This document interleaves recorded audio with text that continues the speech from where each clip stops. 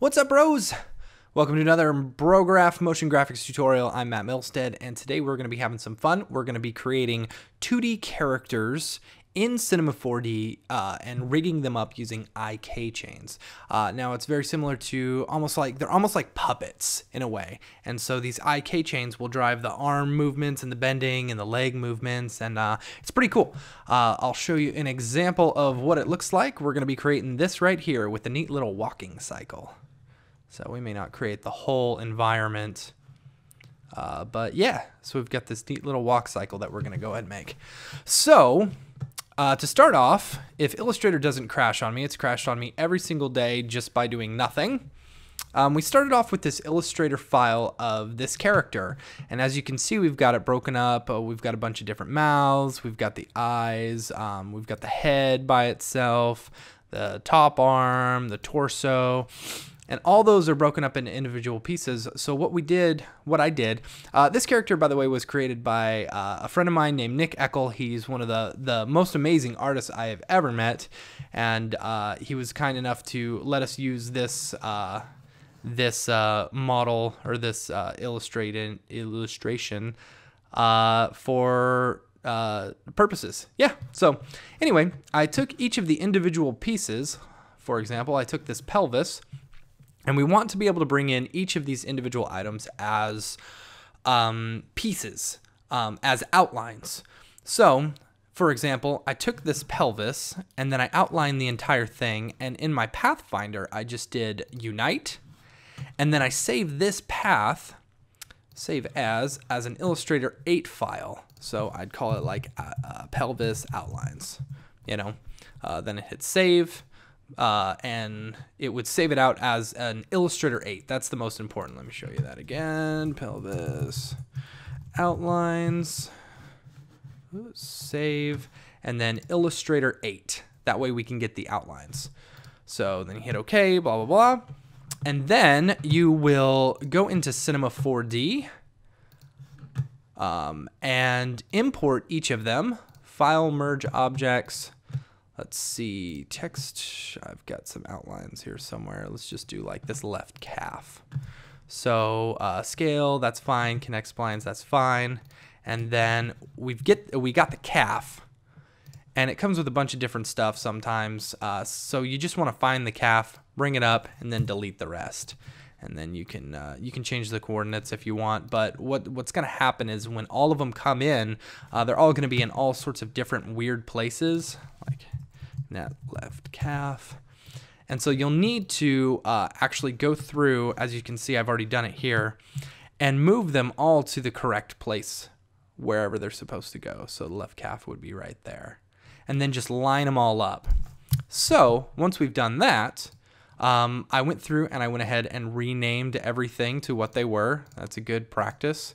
Uh, it really helps you to uh, keep organized. And um, Okay, so once you've done that, then we're going to go through and we're going to uh, set an extrude for each one. So for example, let's start with the head, and then you'll extrude the head just a little bit, and then I'm going to go through and I'll make one for each one. Now, you could, well, with stuff like this, it is possible to throw them all into one extrude and just click on the hierarchical um, if that's the correct way to say it. But we're going to be turning these into editable uh, polygons later. Uh, so we don't want to throw it into the hierarchical. So anyway, I'm just going to do a few real quick so that you guys can see what we're doing because I've got it set up. So you can see we've got this and with the uh, with some of these like the left arm and stuff, I've actually moved it back in Z space to keep it to where it's not on the same space as that. As you can see, our head is just a little bit forward because if it was all in the same space, uh, uh, they would have weird intersections and stuff like that. You want to make sure that everything is just a little bit layered differently. Uh, so yeah, okay, so once you've gone through and done that, um, I'll show you, I've got my character extruded. And then actually, yeah, I wanted to show you. So I started off and see everything is just flat and straight on. and you can't tell it right you can't tell right now but if once we get textures on here if they were flat against each other they would be uh, they'd be getting all sorts of weird geometry and see right now look at his his hand i mean you can't see the hand and the arm it just looks really weird right now so you uh, we need to change the depth on all of that so i'll go ahead and do that we're going to take this arm and we're going to move it forward Okay.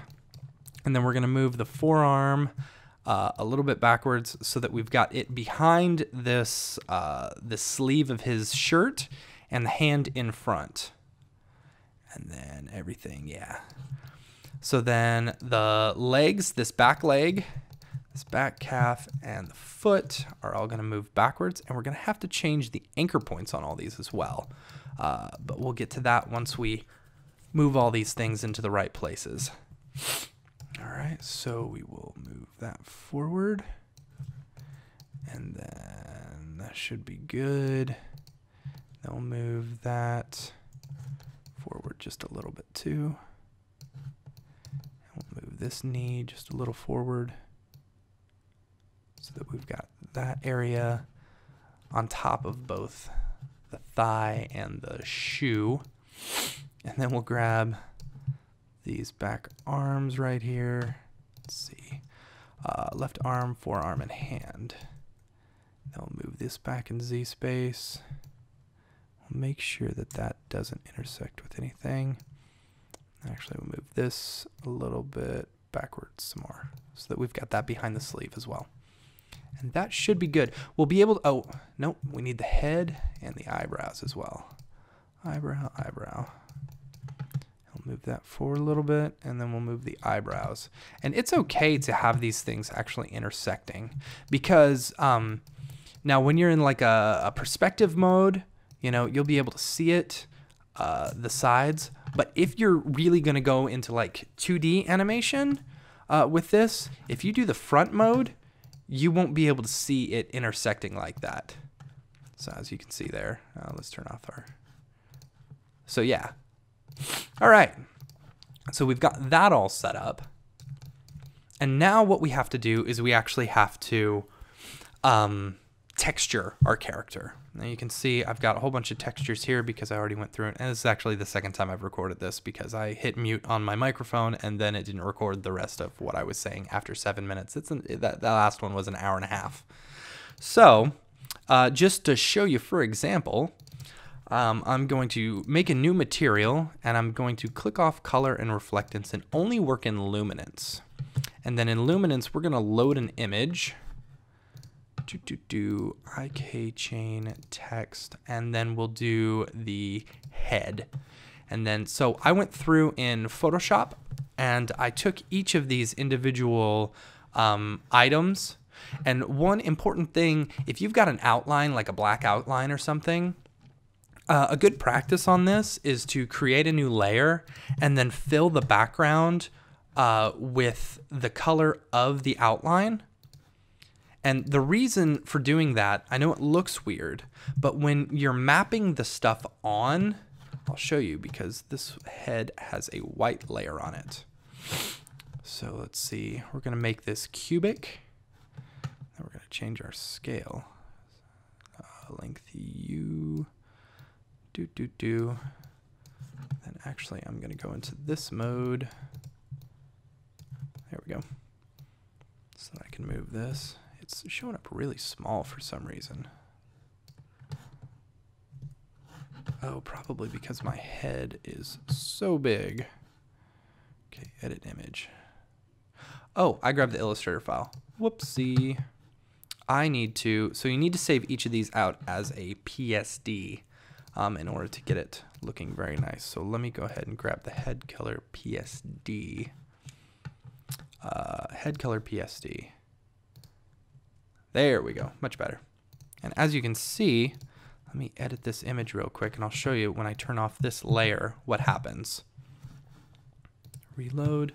So you get this white around it and when you're trying to uh, scale everything correctly and uh, map it on, you'll sometimes get these little white areas and it makes it it makes it difficult to really uh, get it perfect, if that makes sense, to line it up perfectly. So what I will do, see, you've got these little white marks right here. And so even when you work on it really well and kind of move it on there, it's really hard to get rid of just the fine little white things. And what we're going to do actually on our texture is we're going to change our selection to C1, which means it's only on the caps, or it's only on the front cap. So see how we've got some little white dots right there. So that's why it's important to go into Photoshop and just kind of fill it with the uh, stroke layer or whatever the stroke color is. And then you'll see once we get it there, uh, let me reload my texture. Doot, doot. Reload. Now you see, it's good and clean there. And so you can, it, it gives you a little bit of leeway on whether or not you get this entirely correct. So let's see, then we'll move this just a little bit that way, just a little bit up so that we've got some good strokes. See, then it doesn't have to be entirely accurate.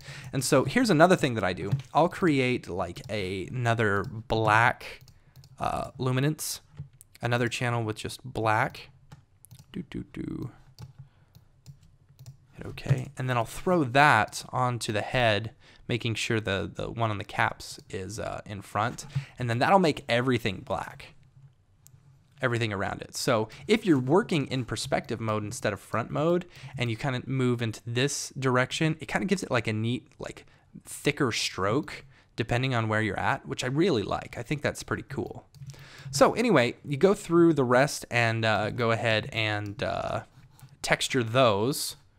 So yeah, let's see if I have done that on my other one. So I went through and I went ahead and textured everything uh, through the materials on.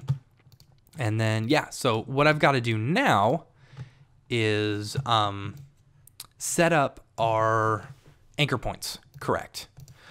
So as you can see, they're all hitting right in the center right there. So what we do is we click on the enable axis and we're just gonna go ahead and move these to the correct places. I'm gonna go into front mode and see, check that out. So he looks pretty good in front mode. That's pretty neat. Uh, so eyebrow right there, right eyebrow. We're gonna go right about there. The head is gonna be right around the neck area. Uh, pelvis will probably stay right about where the hips are. Torso, let's go ahead and do, what do we want to do? Probably right in the center. Let's see, left arm, I can't really see this. Let me go into my left arm layer. I soloed it. Okay, left arm, we want that right about the shoulder. Let's go ahead and do the right arm too, since I've got those layers on. So then right about the shoulder, turn that off. Uh, right forearm is my pink. So we want that right about where the elbow is. Oh, that was the left. Right, we want over here. Left forearm. That's good.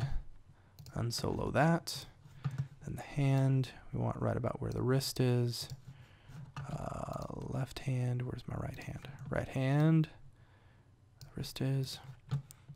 And then left leg, about there, left calf, about where the knee is, left shoe, where the ankle is. And then we'll do the same on this one. And we should be good to go. Uh, right knee, right shoe, where the ankle is. Okay. I'm actually going to take this whole left leg and I am going to, oops, got to get out of enable axis mode. I'm going to put the left leg right there. Then I'm going to move the right leg to about right there. So it's a little bit tighter. All right, so there we go. We've got that set up. Now what we need to do, we've got everything textured, we've got everything, our character all uh, extruded and our anchor points correct. Now what we're gonna do is we are going to make everything editable. So there's no coming back. Uh, you can either, once you make things editable, uh, but you can either save, do an uh, incremental save. Uh, but what I like to do is I'll take all my stuff and I'll duplicate it and put it into a null and just call this ref. uh, and then just turn it off. So if I ever need to go back to it for some reason, I'll have it. So let's go ahead and just select all these and make them editable. And we're gonna want to do do do do do. Uh, we're gonna want to combine all of our individual objects. So uh, connect objects and delete. We're gonna select all the every all the children of the left eyebrow. We're gonna do that with the right eyebrow as well. Connect object and delete. And with the head, it's basically just connecting the caps of the extruded object uh, to the uh, part that was extruded, I guess. Uh, connect objects and delete. Do, do, do. And you'll see we're getting a whole bunch of these extra materials and stuff like that. We don't need all of them, and we can go through and actually delete the ones that we don't need because really all we need are that uh, are the the black luminance layer and then whatever the image is that is uh, mapped onto the cap. So go through and we'll finish all this stuff. Do, do, do. Connect objects and delete, connect objects and delete, connect objects and delete. Connect objects, last one. Cool. Okay. So, right shoe, right calf, and let's see. It should be the same on all of these. Let's figure out which one we don't need first and then it is the, okay, so we don't need the first one or the third one. And then this one is going to, let's see, first one, third one, nope. And then we can delete the second one. Okay, so let's go ahead and do this. First one, third one, first one, and third one. We don't need those. Cool. First one, third one. We're just getting rid of all the junk that we don't need. Let's see up here, do we need any of that? Yes, we do. Which ones do we need? That one, okay. And can we get rid of that? Okay, awesome. Now it's nice and clean. Do, do, do. And you can see that we've got black and then everything's layered correctly. Cool. All right. So now what we're going to want to do is we're going to want to prep everything for the IK chain. And the best way to do this is to go ahead and put everything as uh, uh, children of where they're where they would normally be. Um, so for example, we've got our character. Um, we're going to take our pelvis and our torso. Um, the pelvis is going to be a child of the torso. And we've got the left and right eyebrow are going to be children of the head. So think about it, uh, you know, the eyebrows connected to the head bone. That doesn't make sense. So anyway, uh, head will be um, connected to the torso. Left arm, left forearm, and left hand are going to be connected to the torso as well. Uh, left forearm inside the arm, left hand inside the forearm. So right forearm, right hand, and then we're going to put this in the torso as well. And then left leg Actually, all of this is going to go into the pelvis. And we've got calf and shoe and calf and shoe. So as you can see, we've got everything parented together. So like, for example, if we were to move the right leg, uh, yeah, you could go through and you could, you know, uh, do like this, which would be cool, but it would take you a really long time versus just using an IK chain. So what we're going to do, what's really important whenever you are working with 2D characters in a 3D environment, uh, 2D is basically just X and Y. Uh, but in 3D, you've got this Z space as well, as you can see, because we, you know, threw everything into Z space to have a little bit of depth. So what we want to make sure that we do is that because uh, the IK chain will set it up to where it will move in X, Y, and Z space, and we don't want that. So we need to add protection tags to each of our uh, each of our individual items uh, so that they don't move in Z space. And as well as the rotation. Um, so rotation we only want on the B, we don't want on the H or the P. Um, so we're going to go ahead and throw a, go to tag, cinema 4D tags and do a protection tag. And we're only going to let it move in the X and Y and only rotate along the B. So we're just going to go ahead and copy and paste that into each one and keep everything pretty and organized. Do, do, do, do, do, do, do, do. So uh, now there is one problem that we run into whenever we are uh, throwing a protection tag on it. And there's an easy way to work around it. So if I was to just go ahead and create an IK chain in like the leg right now, uh, I'll show you. It'll probably go backwards um, because of the way it is. So let's see. Oh, no, it bends the right way. It doesn't always bend the right way. Um, so the best workaround for that is just to uh, pre-bend it, I guess, um, to tell it which way it needs to go. Uh, because if you normally you can go inside and add a pull and tell it which way it needs to bend, but because we've got these protection tags on there, it doesn't work entirely correctly. So uh, let's see, let's go ahead and delete that IK chain and I will show you. So we want to have, let's see, protect coordinates zero and zero and zero. Okay, so we want to kind of make it bend the way that it would normally bend um, so that it can kind of see where it's supposed to be going. So we'll can, uh, uh, select the shoe all the way to the leg and go to character, commands, create IK. And so here you see it gives us this right shoe, which we're going to rename right leg. And you see we can move that all around and it creates the cool movement of the foot. I'm going to scratch my ear here like a dog, which is weird. all right. So that's one leg set up. And then we're going to select left shoe all the way to left leg. And you, you, you can go all the way to pelvis, but I wouldn't recommend it because I'll show you what happens. Create IK. So you've got the left shoe. It starts moving all of it, you know, and really we only want the hands to go or the, the legs to go. So I'll just undo that. And then I'm going to select from shoe to leg. Uh, character commands create IK, and so we're going to call this left left leg. Okay, so we've got that, and then we're going, oh, see, that's what happened. I didn't bend it, so it's bending backwards.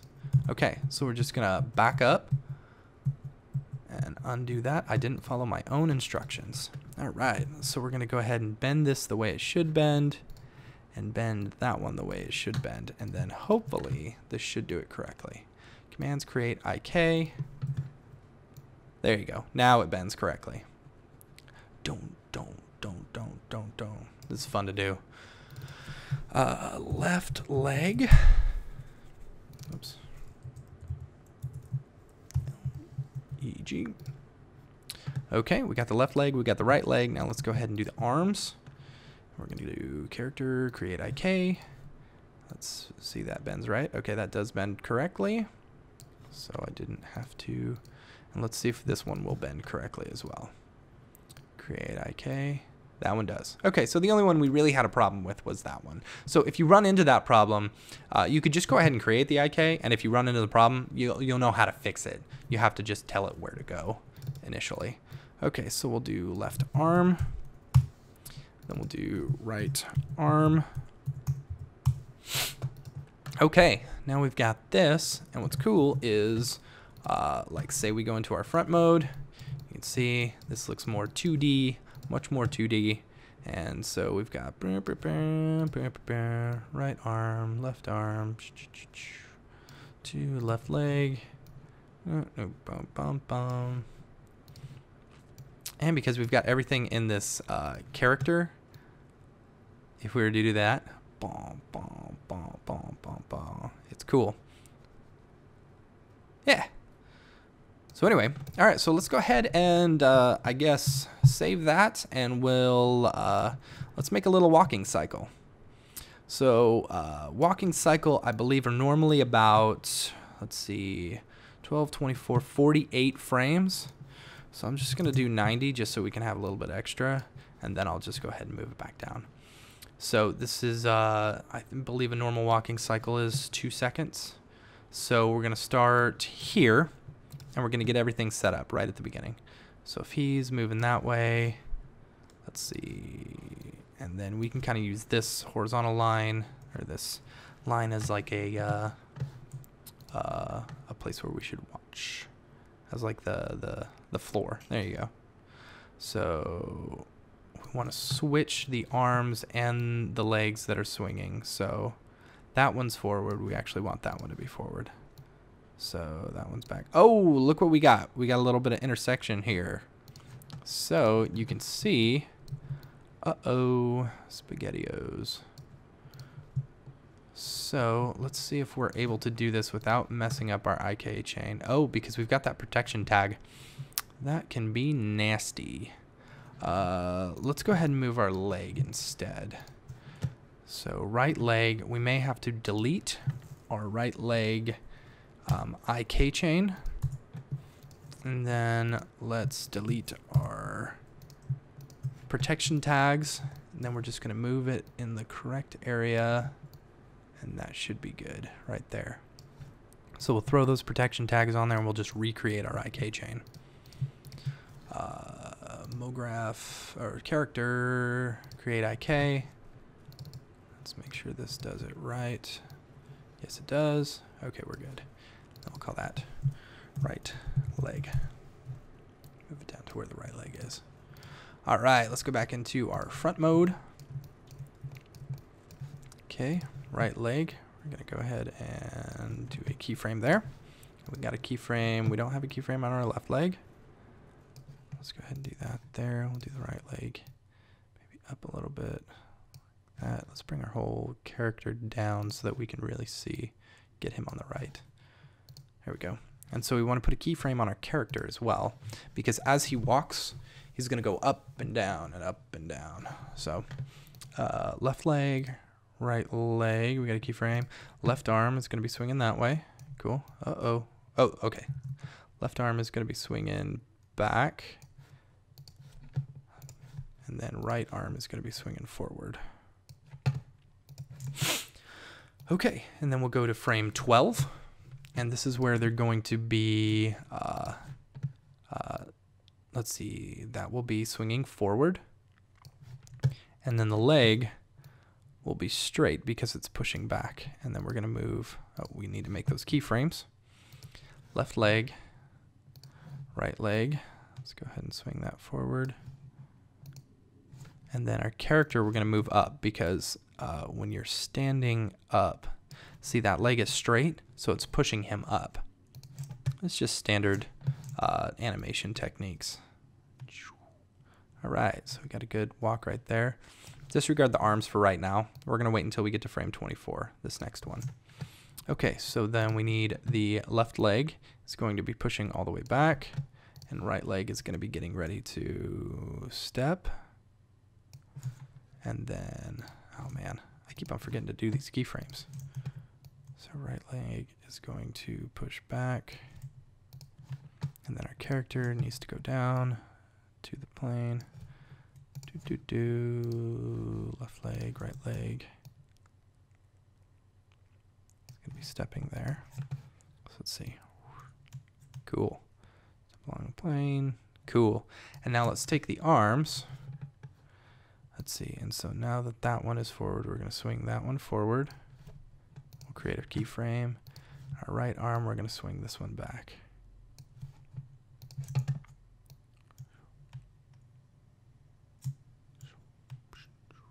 Cool. You get this little popping sometimes.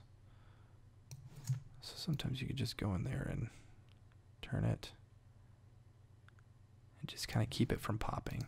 It gives it this weird look whenever it pops like that. You know? Let's do the right arm. Kind of keep it from popping as well. It's one thing with the IK chain is you sometimes run into that popping where, where it's popping out from being straight. You'll notice it here once we get here too. So we'll go to 36 and then our uh, right leg is the one pushing us forward. So it's going to be straight. 36, left leg is going to be swinging forward. You'll see it popping there, I bet. Uh, character, probably need to adjust our keyframes uh, character right there. Let's see, left leg is going to be swinging forward like that. Right leg is good. Uh, left arm, we are not going to worry about yet. And then go to 48. And then what we're going to do is we're actually just going to copy the keyframe from the first one. Go to 48. Yeah. Then right leg.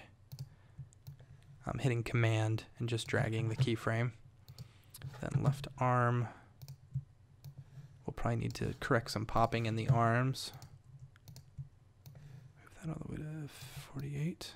Let's see how that looks. Oh, we need to do the character as well. There we go. 48. Yeah, you see some popping in the arms. and then we see a little bit of popping right there on the leg. We could adjust the character a little bit because see it's kind of breaking that that plane. So let's just go ahead and fine tune it a little bit. Uh, let's get our left and right arms. So this is our left arm. We don't want it to pop like that. We'll see. Does get rid of all the popping? Yes, it does. Now let's do our right arm.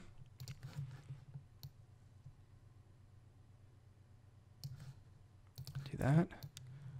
Cool.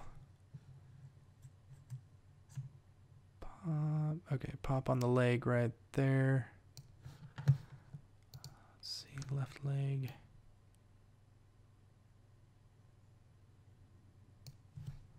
Let's try that. There you go. Now it's not so obvious. And let's kind of move our character a little bit, make sure that we stay along the plane the whole time. Right about here, we break it a little bit. Character. Let's move him up just a little bit.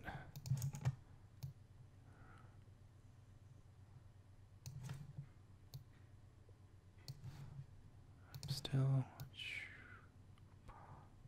All right. Oh, we got to pop somewhere in the arms. Dang it. It's because we when we moved, let me go back a couple of keyframes. See if I can just move the legs instead. Because that's actually not too bad.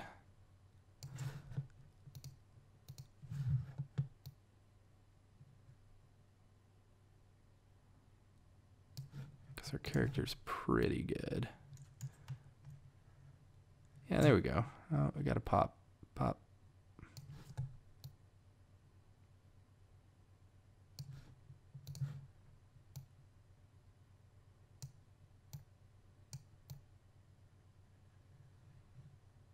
You got to pop right there at the end. We need it not to be so much of a bend. There we go. I think that's good. And so then we're going to make this 47 frames. And you can watch a good little walking loop, which is pretty cool. All right. So there you go.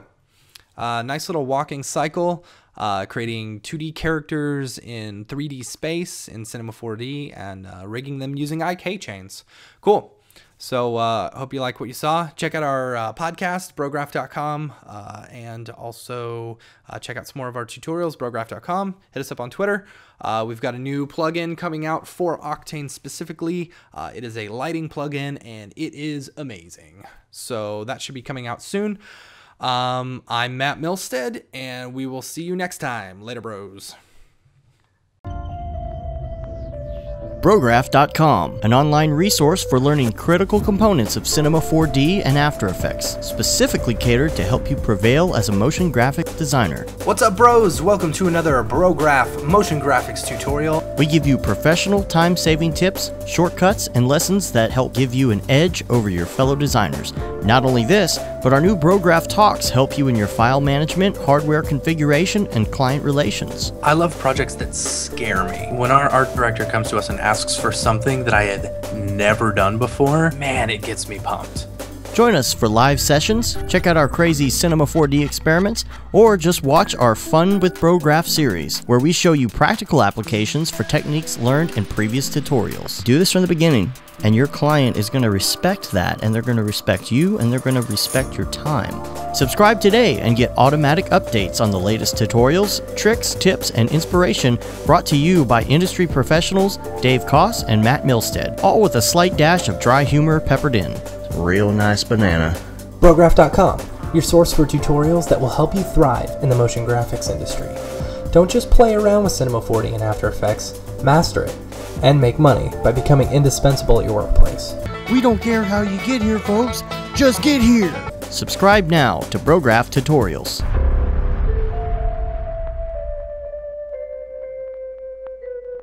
It's pretty good, I guess.